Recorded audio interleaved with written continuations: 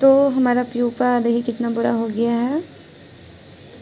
तो ये पत्ती खा के बहुत ज़्यादा मोटा और बड़ा हो चुका है।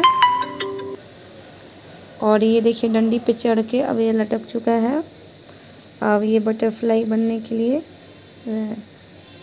अपना आगे का प्रोसेस शुरू करेगा। तो ये हमारा प्यूपा कितना बड़ा हो चुका है।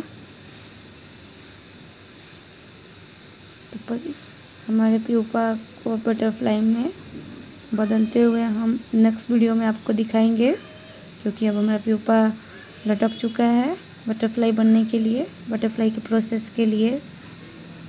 तो चलिए मिलते हैं आप नेक्स्ट पार्ट वीडियो में।